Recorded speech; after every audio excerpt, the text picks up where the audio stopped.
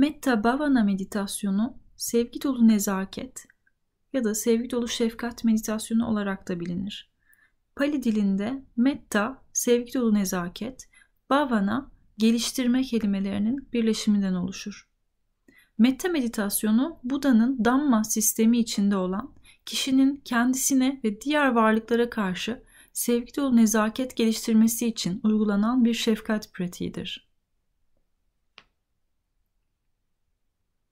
Şimdi rahat bir pozisyon bulun.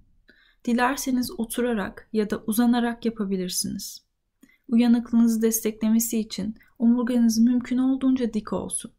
Eğer uzanarak yapıyorsanız dizlerinizi kırıp ayak tabanlarınızı yere koyabilirsiniz.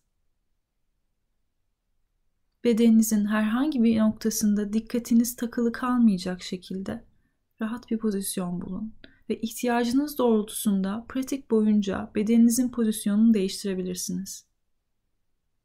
Elleriniz dizlerinizin üzerinde veya kucağınızda rahatça kalabilir. Gözleriniz kapalı veya açık tutabilirsiniz. Eğer açık tutmayı tercih ediyorsanız aşağıda sabit bir noktada yumuşak bakışlar. Pratiği dilediğiniz zaman sonlandırabilirsiniz kendi tolerans aralığınızda tolere edebileceğiniz kadar pratik yapın.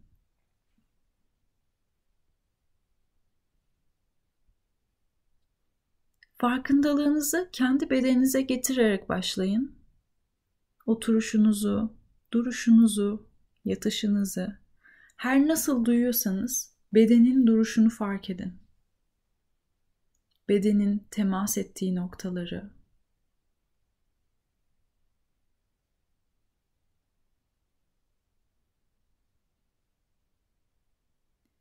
Nefesinizin varlığını fark edin. Dilerseniz birkaç derin nefes alıp vererek bedeni rahatlatın ve nefesin hareketlerini izleyin. Burun deliklerinizden geçişini, göğüs kafesi ve karın bölgesindeki varlığını fark edin.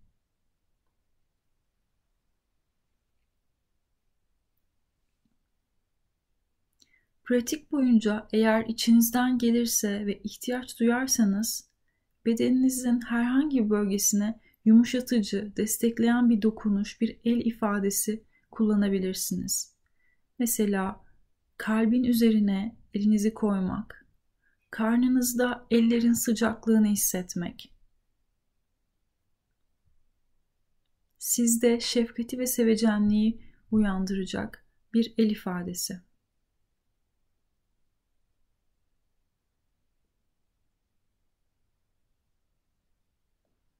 Ve şimdi dört kişiyi zihin gözünüzde sırayla canlandıracaksınız ve tek tek her birine bir şefkat ve sevecenlik ifadesi ve dileklerinde bulunmayı deneyeceksiniz. Birinci kişi kendinizsiniz. Zihin gözünüzde kendi imajınızı, kendi yüzünüzü, bedeninizi, duruşunuzu canlandırın. Kendinizi nasıl hayal ediyorsunuz?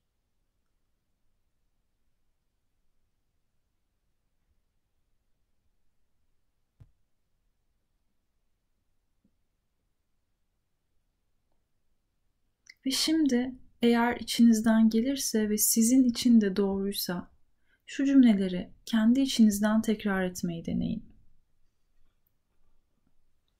Mutlu olayım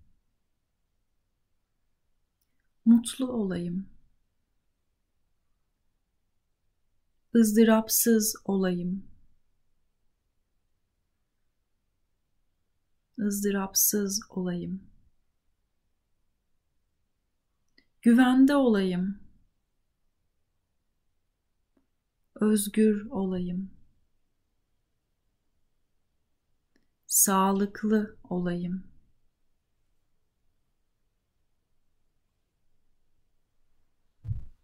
Neler oluyor şu anda? Bunları kendiniz için söylediğinizde kolay mı? içten bir yerden kendinize bu dilekleri sunmak mümkün mü?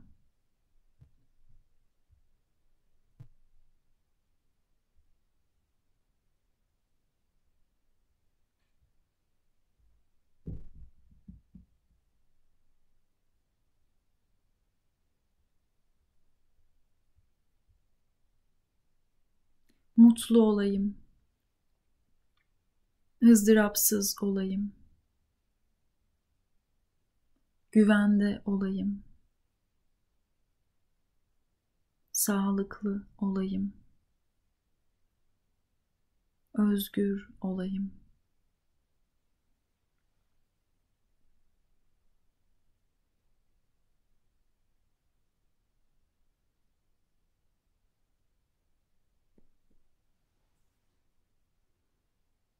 Bu dileklerin sizde, bedeninizde bir karşılığı, bir yankısı var mı izleyin. Ve dilerseniz içinizden tekrar edin.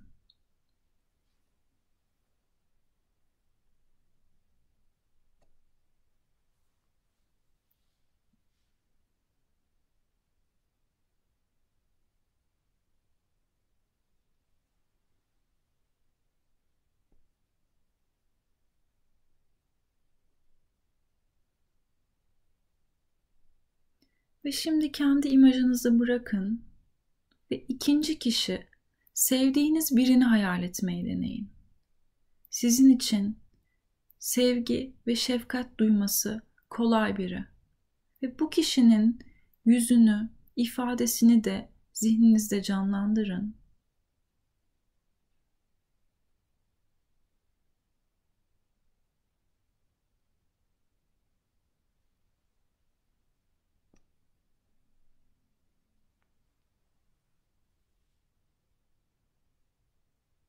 Ve bu kişi için de şu sözleri söylemeyi deneyin. Mutlu olasın. Mutlu olasın. ızdırapsız olasın. Güvende olasın. Özgür olasın.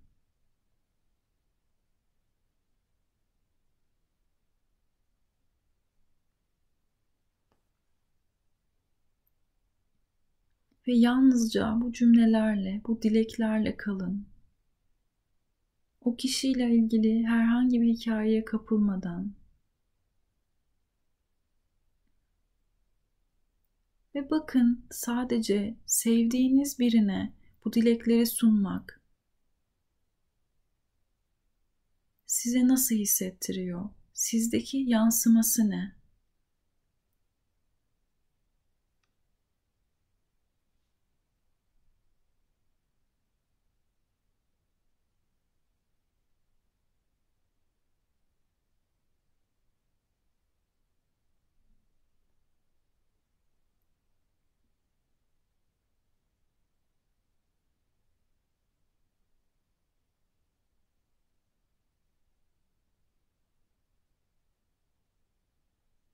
Ve sevdiğiniz kişiyi ve bu ifadeleri bir kenara bırakın. Üçüncü kişiyi yani nötr, tarafsız hissettiğiniz kişiyi zihin gözünüzde canlandırın. Bu tanıdığınız ama özel bir his beslemediğiniz biri olabilir. Belki çalıştığınız yerde birisi alışveriş yaptığınız bir dükkandaki esnaf ya da bir komşunuz olabilir. Ve bu kişinin yüzünü, imajını, duruşunu, varlığını zihin gözünüzde canlandırın.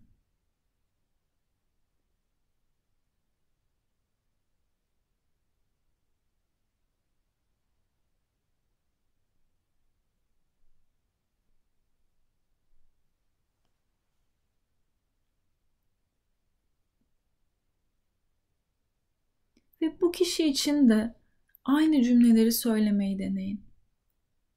Mutlu olasın. Mutlu olasın. ızdırapsız olasın. Güvende olasın. Özgür olasın. Sağlıklı olasın.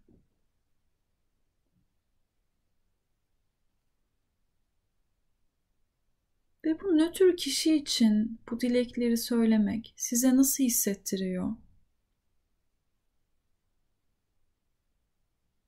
İçten söyleyebiliyor musunuz?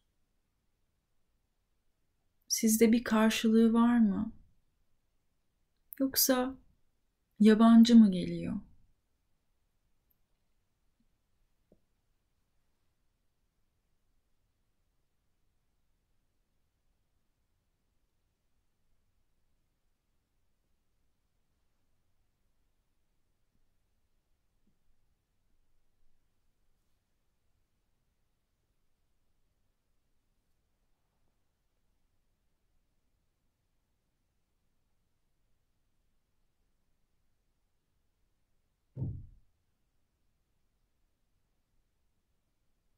Ve şimdi bu nötr kişiyi de bir kenara bırakın. Ve zihninize sizin için sevgi ve şefkat duyması zor bir kişiyi getirmeyi deneyin. Ve bakın bunun için müsait misiniz bugün, şu anda? Düşündüğünüzde size biraz sıkıntı veren, olumsuz duygular beslediğiniz biri olsun.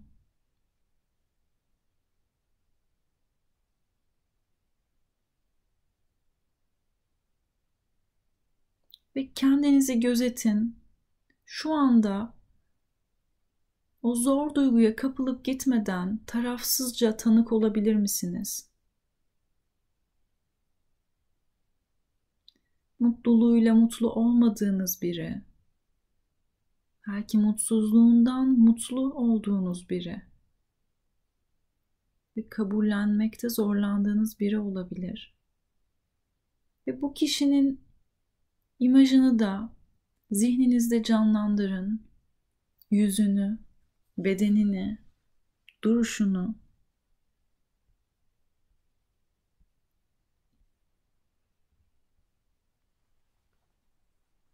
Ve şimdi bu kişi için de bu cümleleri tekrar etmeyi deneyin içinizden. Mutlu olasın. Mutlu olasın. ızdırapsız olasın. Güvende olasın. Özgür olasın. Sağlıklı olasın.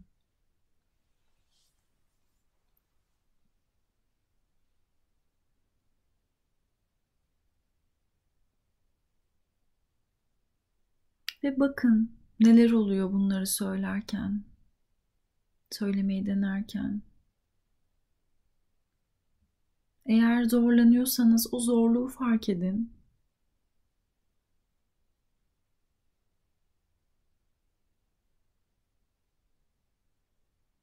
kendinizi yargılamadan sadece sizin için bu zor kişiye bu dilekleri suna, sunarken, sunmayı denerken size ne oluyor? Gerçekten içinizden gelerek mi söylüyorsunuz? Yoksa yapmacık, samimiyetsiz mi geliyor?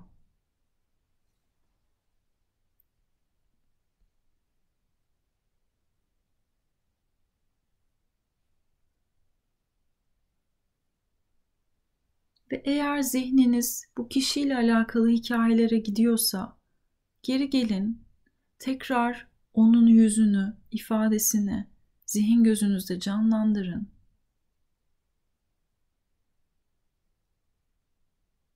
Ve düşünün bu kişi de acı çekiyor. Herkes gibi.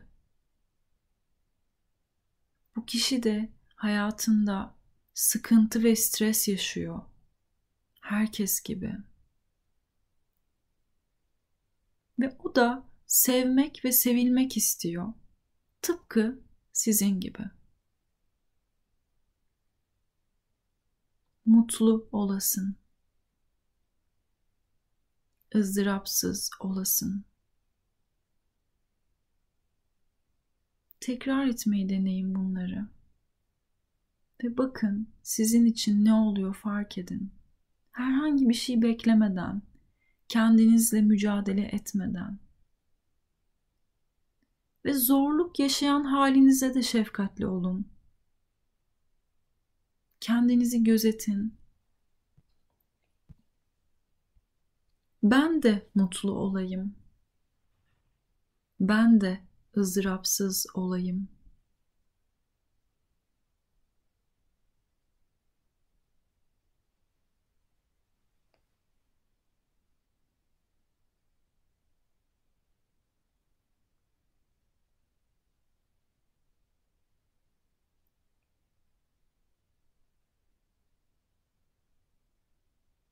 Ve artık zor kişiyi bırakın, cümleleri bir kenara bırakın.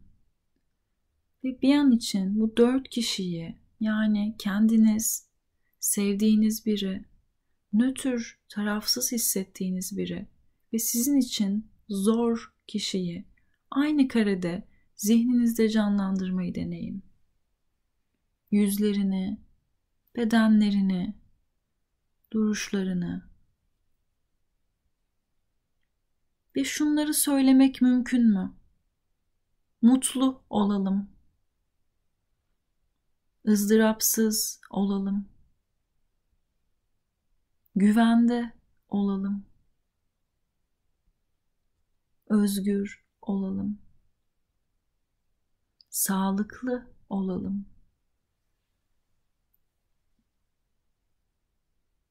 Ve fark edin sizin için ne oluyor?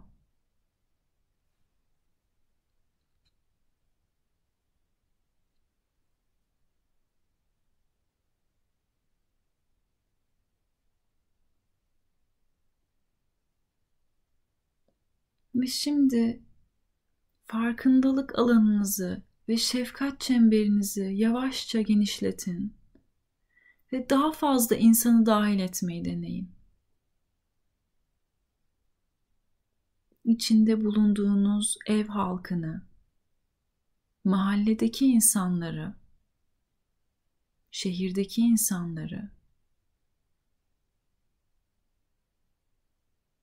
sanki çember genişliyor ve merkezinde siz ve kalbiniz. Bütün ülkedeki insanlar, bütün dünyadaki insanlar ve canlılar ve tüm varlıklar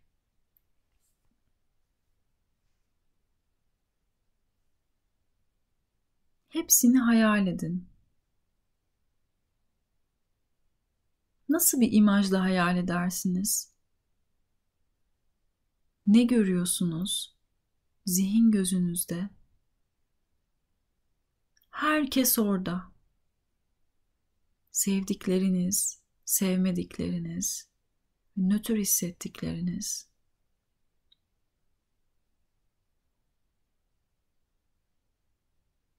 Tanıdıklarınız ve tanımadıklarınız kolay insanlar ve zor insanlar, iyiler ve kötüler, suçlular ve kurbanlar,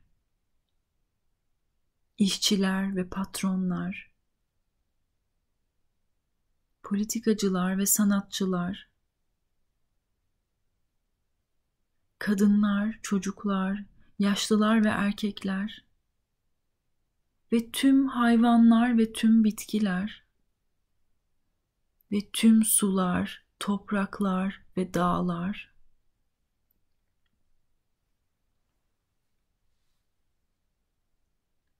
hepsi orada çemberinizin içinde.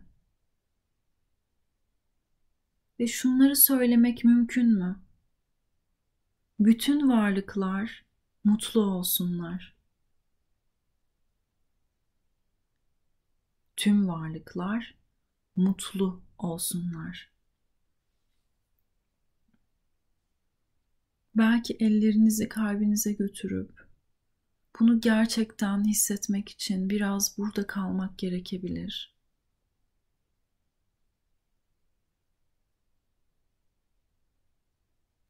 Tüm varlıklar mutlu olsunlar.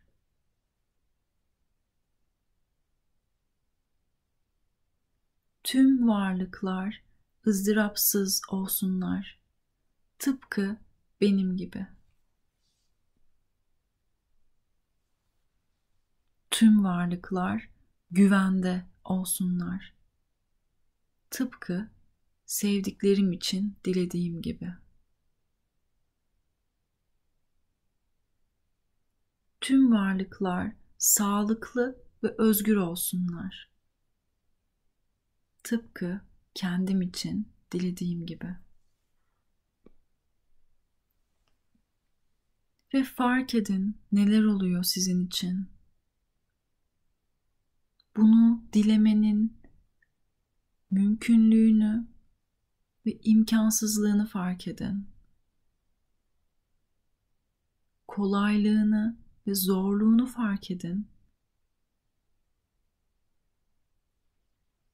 Ve her ne oluyorsa, her ne hissediyorsanız doğru ya da yanlış değil. Hepsine yeterli alan açmayı deneyin. Hiçbir şeyi dışarıda bırakmadan kendiniz de dahil.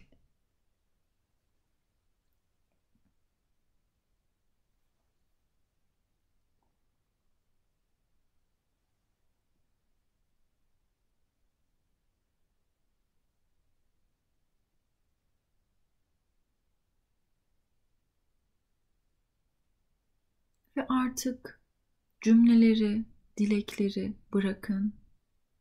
imajları bırakın.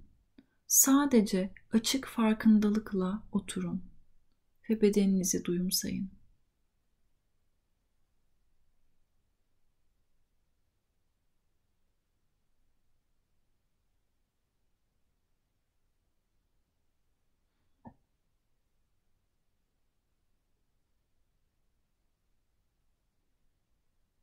Ayak tabanlarınızın ve bacaklarınızın yerle teması,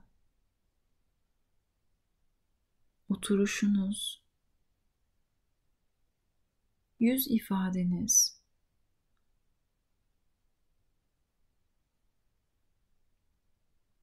duyduğunuz sesler, en uzaktaki ve en yakındaki sesler.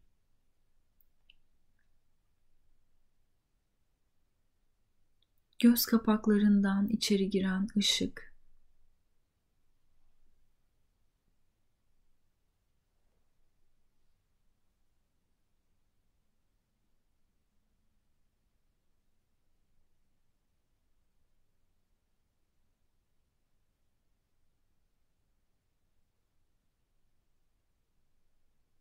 Kendi zamanınızda hazır hissettiğinizde gözlerinizi açın bedeninize hareket getirin.